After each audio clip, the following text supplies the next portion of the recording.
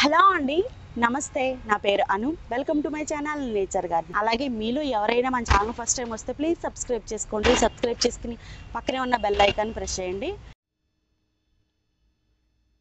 అలాగే ఈ వీడియోని స్కిప్ చేయకుండా చివరి వరకు చూడండి. చివరి వరకు చూడడం వల్ల మీకు ఒక రెండు అందమైన మొక్కలు ఎలా మనం కటింగ్స్ ద్వారా పెంచుకోవచ్చు అనేది చూద్దామండి. చాలా ఈజీగా పెంచేసుకోవచ్చు. చాలా అందమైన పువ్వులండి అది చూద్దాం. అలాగే ఇలా మన గార్డెన్లో ఇలాంటి బటర్ఫ్లైస్ కానీ బీస్ కానీ వచ్చినాయి అంటే కనుక మనకి పాలినేషన్ ప్రాబ్లం అనేది ఉండదండి. చాలా చక్కగా మనకు పాలినేట్ అయిపోతాయి అన్నీ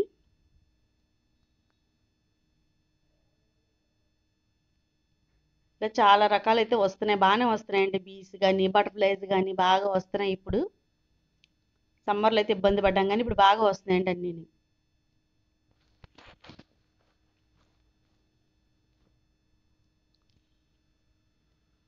అలాగే మనం ఇప్పుడు చుక్కమల్లి గురించి తెలుసుకుందామండి. చుక్కమల్లి ప్లాంట్ అనేది నేను చాలాసార్లు మా వీడియోలో చూపించాను పువ్వులు కూడా కోసి చూపించానండి.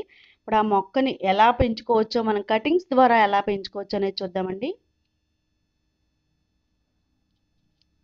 చూసారు కదండి చెట్టు నిండా పువ్వులతో ఎంత అందంగా ఉందో విరగపూసింది కదా చెట్టు నిండా పువ్వులు అనేవి. చాలా బాగా పూసిందండి.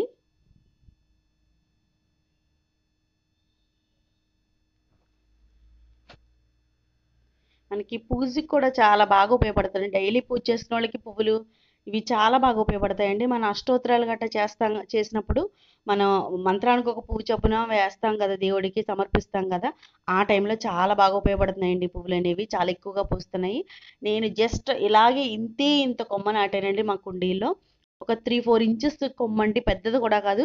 అది కూడా ఏదో చేస్తుంటే విరిగిపోతే అది పడేయకుండా ఊరికే ఒక గులాబీ మొక్క కుండీలో అలా జస్ట్ అలా గుచ్చానండి దాన్ని. అది గుచ్చితే అది అలా బతికేసి పెరిగింది. నేను చాలాసార్లు చూపించానండి మీకు ఆ మొక్కని ఆ కుండీలో ఉన్నప్పుడు.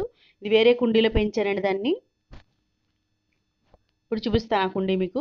ఇదండి ఈ గులాబీ మొక్క దానిలో నేను ఆ కొమ్మ అనేది గుచ్చానండి. అసలు ఎంత బాగా పెరిగిందంటే దానికోసం. ఈ రెండు మొక్కలకి బలం సరిపోవాలని కిచెన్ వేస్ట్ కంపోస్ట్ మట్టిలో వేసి కూడా ఒకసారి చూపించాను. ఫస్ట్ నుంచి ఫాలో అయ్యే వాళ్ళకైతే ఆ వీడియో గుర్తుంటుందండి. ఇందులోనే నేను చాలాసార్లు చూపించానండి ఆ కొమ్మ. అది ఎంత పెద్దగా అయిందంటే ఇది చూసారు కదా ఇంత పెద్దగా అయిందండి ఈ మొక్క. ఇప్పుడు ఆ కుండీలోంచి తీసి దీన్ని వేరుగా రిపోర్ట్ చేస్తున్నాను. ఎందుకంటే రెండింటికి ఇది బాగా పెద్దదైంది కదా రెండింటికి బలం అనేది సరిపోదు. ప్లస్ దానికి ఎండు తెగులు కూడా వచ్చింది కదండి గులాబీ మొక్కకి. అందుకని దీన్ని సపరేట్ చేసేస్తాను ఆ కుండీలోంచి. ఆ సపరేట్ చేసిన క్లిప్ అనేది మిస్ అయిందండి. లేదంటే అది కూడా చూపించేదాన్ని. పాత వీడియోలో అయితే ఉంటుందండి ఇదే కుండీలో అదే కుండీలో ఈ మొక్క ఉన్నటువంటి పాత వీడియోలో మీకు కనిపిస్తుంది. నేను ఒక ప్రస్తుతానికి కుండీలు ఏమి లేక ఆయిల్ డబ్బా తీసుకున్నాను అండి ఫైవ్ లీటర్స్ ఆయిల్ డబ్బాలో తీసుకుని ఈ మొక్క అనేది రిపోర్ట్ చేస్తున్నాను. మీకు బలం సరిపోద్దా అని డౌట్ రావచ్చు అండి సరిపోతుందండి. ఎందుకంటే మనం కంపోస్ట్లో ఇస్తూ ఉంటాం కాబట్టి బలం అనేది బాగానే సరిపోతుంది. అవకాశం ఉన్న వాళ్ళైతే ఇంకా పెద్ద కుండీలో పెట్టుకోండి. ఎందుకంటే ఈ మొక్క కూడా చాలా పెద్దగా అయ్యే మొక్క అండి ఇది. అలాగే చెట్టు నిండా పువ్వులు అయితే అసలు విరగబూస్తుందండి. ఎంత బాగుంటాయంటే దీని పువ్వులు చెట్టు నిండా పూసేస్తాయి. మనకి మల్లెపూల సీజన్లో ఎలా మల్లి చెట్టు నిండా మొగ్గలు ఎలా ఉంటాయో అంత బాగా పూస్తుందండి ఇది. దీన్ని పువ్వులు కాకుండా ఈ ఆకు మొగ్గలు కనిపిస్తున్నాయి చూడండి. చక్కగా సాయంత్రం టైంలో మనం ఈ మొగ్గలన్నీ కోసేసి మాల కట్టేసి మనం ఏ దేవుడి పటాల కట్ట వేసామంటే ఆ మొగ్గ లైట్గా ఓపెన్ అయినట్టుగా ఉండే అసలు ఎంత చాలా అందంగా ఉంటుందండి మాల అనేది. ఇంతకుముందు మాకు తెలిసిన వాళ్ళకి ఉండేదండి ఆ మొగ్గలన్నీ కోసి తీసుకొచ్చి దేవుడి పటాలకు అలా వేసేవాళ్ళం. మాల అయితే త్రీ డేస్ వరకు ఎండకుండా అలానే ఉంటుందండి మనం ఉంచాలి కానీ. చాలా బాగుంటుందండి. విడిచిన తర్వాత మనం అష్టోత్తరాలు చేసుకోవడానికి బాగుంటుంది. విడవక ముందైతే మాలలు కట్టుకోవడానికి చాలా బాగుంటుందండి. చాలా ఎక్కువగా కూడా పూస్తుంది. ఇది ఇంత ఎక్కువగా పూయడానికి రీజన్ ఏంటంటే నేను దీనిలో ఈ మొక్క రిపోర్ట్ చేసేటప్పుడు దీనిలో ఎప్సమ్ సాల్ట్ అనేది వేసానండి ఎప్సమ్ సాల్ట్ వీడియోలో చెప్పాను కదా మీకు దాన్ని మెగ్నీషియం బాగా అంది పువ్వులు అనేవి చాలా ఎక్కువగా పూస్తాయని. ముందు చూస్తే కనుక ఇది అంతగా పూయలేదండి. దీన్ని రీపాట్ చేసిన తర్వాత కొంచెం ఎక్కువగా పువ్వులు పువ్వులైతే పోయడం పూయడం మొదలుపెట్టిందండి. రిపోర్ట్ చేయకముందు కొంచెం అంటే ఇన్ని పువ్వులు లేవు తక్కువగానే ఉండేవి రిపోర్ట్ చేసిన తర్వాత మాత్రం ఎప్సమ్ సాల్ట్ వేసిన తర్వాత మాత్రం అసలు చెట్టు నిండా ఎన్ని పువ్వులు ఉన్నాయో అండి. ప్రస్తుతం అయితే ఇప్పుడు సాయంత్రం టైం కదా అని నేను కోయట్లేదు రేపు ఉదయం పూజ పనికి వస్తాయని కోస్తే కనుక మీకు తెలుస్తుందండి అసలు ఎన్ని పువ్వులు ఉన్నాయనేది అంత చిన్న కుండీల్లో చాలా బాగా ఉందండి. దీనికి తెగుళ్ళు అయితే ఏమీ లేవండి. నేను ఇది వేసి కూడా చాలా సంవత్సరాలు అయింది మొక్క. అంటే వేరే కుండీలో ఉంటుందండి పెద్ద మొక్క. కొమ్మ కట్ చేసి వేసింది ఇది మొక్క కదా ఇది. చాలా సంవత్సరాలు అయింది కానీ ఇటువంటి తెగుళ్ళు కనీసం మిల్లీ బగ్ కూడా ఈ మొక్కకు నేను చూడలేదండి. ఇలాంటి తెగుళ్ళు లేని మొక్కలు అంటే చాలా ఈజీగా మనం పెంచేసుకోవచ్చు కదా. చూడడానికి కూడా చూస్తే చాలా అందంగా ఉంది. అండ్ అందులో ఆయిల్ క్యాన్లో అయితే ఇంకా అందంగా ఉందండి చూడడానికి అది. దానికి ఇంతకుముందు నేను షేప్ చేశాను కదా వినాయకుడి షేప్ లాగా. అలా షేప్ చేసుకున్నామంటే కనుక ఇంకా చాలా బాగుంటుందండి ఆ కుండీని డెకరేట్ చేస్తే కనుక అలాగే ఇది జామ మొక్కను తీసేసిన కుండీ అండి. దీంట్లో ఆల్మండా ప్లాంట్ అనేది రీపోర్ట్ చేస్తున్నానండి. ఆల్మండా ప్లాంట్ గురించి కొన్ని చెప్తానండి. ఆల్మండా అనేది నా- నాకైతే కనుక దొరకక నేను వేయలేదు కానీ మీకు దొరికితే కనుక మీరు మొక్క కొనుక్కోవాల్సిన అవసరం లేదండి. కటింగ్ తీసుకొచ్చి మీరు చక్కగా పె పెంచేసుకోవచ్చు ఈ మొక్క అనేది. అంటే ఇంత ముందు ఒకసారి వేసానండి నేను కానీ సమ్మర్ సమ్మర్ టైంలో వేయడం వల్ల మొక్క బతికింది కానీ ఎండలు పెరిగిన తర్వాత ఎండిపోయింది. వింటర్ సీజన్లో అయితే కనుక మీకు దొరికితే కటింగ్ తీసుకొచ్చి చక్కగా ఇసుకలో అన్నా పెట్టుకోవచ్చు. లేదంటే కనుక మీరు వాటర్లో ఒక ఫిఫ్టీన్ డేస్ కటింగ్స్ పెట్టుకున్నారంటే కనుక మీకు చక్కగా బతికేస్తుందండి ఈ మొక్క. మనం బయట అయితే కొనుక్కోక్కర్లేదు. ఇదైతే ఎల్లో కలర్ అండి. దీనిలో కూడా లెవెండర్ కలర్ లాంటిది కూడా ఉంటుంది కదా. అది కూడా చాలా అందంగా ఉంటుందండి.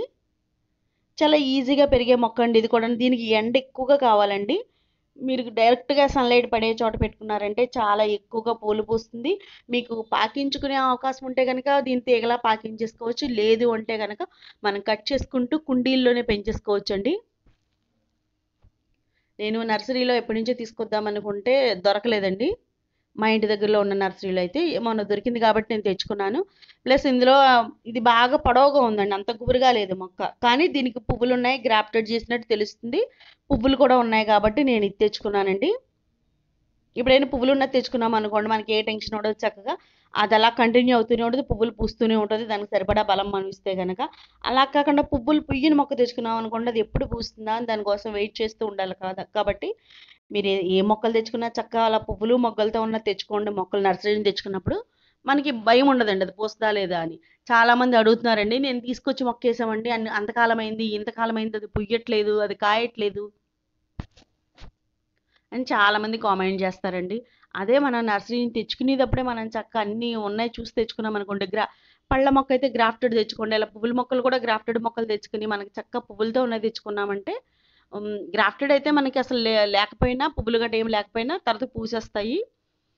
అలాగే ఒకవేళ ఉన్న పువ్వులు ఉన్న మొక్క ఉంటే కనుక ఖచ్చితంగా అదే తెచ్చుకున్నాం అనుకోండి మనకి చక్కగా మనం తెచ్చుకున్న కొన్ని రోజుల్లోనే ఆ పువ్వులు కానీ పళ్ళు కానీ మనం తీసుకోవచ్చు మనకి చాలా హ్యాపీగా కూడా ఉంటుంది. ఇలా మొక్క రిపోర్ట్ చేసిన తర్వాత మట్టి అనేది చాలా గట్టిగా నొక్కుకోవాలి. వర్షాకాలం కాబట్టి లూజ్గా ఉంటే మట్టి వర్షం పడ్డప్పుడు కరిగిపోయి మనకు వేర్ల పైకి వచ్చేసి మొక్క పోయే అవకాశం ఉంది కాబట్టి గట్టిగా నొక్కు పెట్టుకుని ఇది చాలా పొడవుగా ఉందండి ఈ మొక్క. అందుకని దీనికి సపోర్ట్గా ఒక కర్ర కానీ ఏదన్నా సపోర్ట్ ఇద్దాం మనం దీనికి.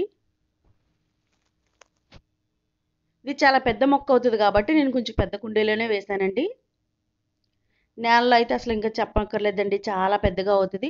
సమ్మర్లో అయితే విరగబోస్తాయండి దీని పువ్వులు. ఇది సంవత్సరం అంతా పూస్తుంది కానీ సమ్మర్లో అయితే చాలా ఎక్కువగా పూస్తుందండి. దీనికి కూడా తెగుళ్ళు అయితే నాకు తెలిసి దీనికి కూడా ఏ తెగుళ్ళు రావండి. వస్తే గనక మనకి ఈ ఆకులు తినే పురుగులు ఉంటాయి కదా వస్తే అవి రావచ్చు అండి గ్రీన్ కలర్లో ఆకులు తినే పెద్ద పెద్ద పురుగులు వస్తాయి కదా వస్తే అవి రావచ్చు తప్పించి వేరే అంతకు మించి తెగుళ్ళు అనేవి ఏమి ఉండవండి.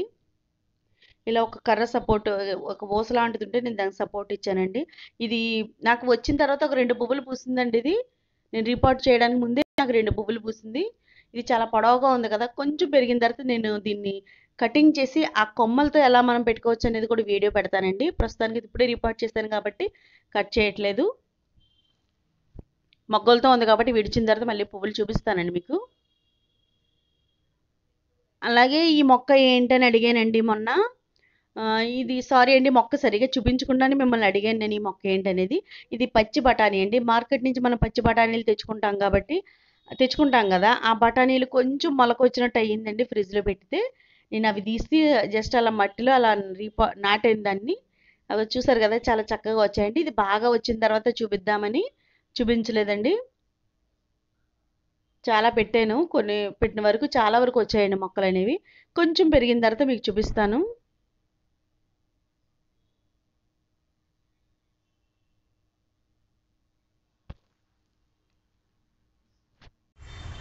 ఈ వీడియో కనుక మీకు నచ్చినట్లయితే లైక్ చేయండి షేర్ చేయండి కామెంట్ చేయండి అండ్ సబ్స్క్రైబ్ కూడా చేసుకోండి. Thank you